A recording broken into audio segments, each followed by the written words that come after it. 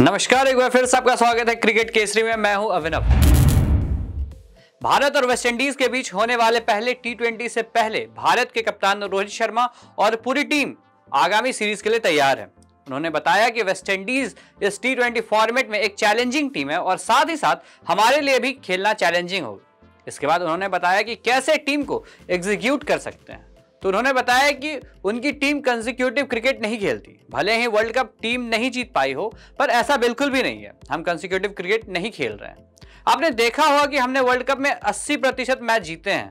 तो अगर ऐसा होता तो कभी भी इतने सारे मैच नहीं जीत पाते। हमने चांसेस भी लिए और ना ही डर कर खेले। हमारी टीम काफ़ी अच्छी है। फिर उन्होंने अपने और शिखर धवन के बीच के बॉन्डिंग की बात की। तब उन्होंने बताया जी हाँ हमारे और शिखर धवन के बीच अच्छी समझदारी है। हम दोनों ने काफ़ी लंबे समय तक साथ बल्लेबाजी की है। इस वजह से हमारी बॉन्डिंग ना सिर्फ़ फ़ील्ड पर, बल्कि ऑफ़ द फ़ील्ड भी दोस्ती बनी हुई है। और मुझे लगता है कि सभी को मस्ती करनी चाहिए। भारत की वर्ल्ड कप की तैयारी शुरू हो चुकी है। ऐसे में हम ये कह सकते हैं कि भारत के लिए यहाँ खेला जाने वाला मुकाबला काफ़ी अहम साबित होने वाला है। उन्होंने हालाँकि प्लेइंग इलेवन को लेकर वैसी कोई बात नहीं कही, पर जहाँ तक लग रहा है, वैसे में देखा जाए तो जडेजा टीम का हिस्सा नहीं होंगे।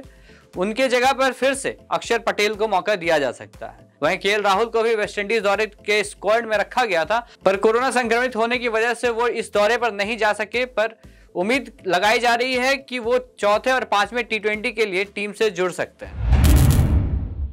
तो क्रिकेट से जुड़ी ऐसी और भी अपडेट को जानने के लिए देखते रहिए क्रिकेट केसरी।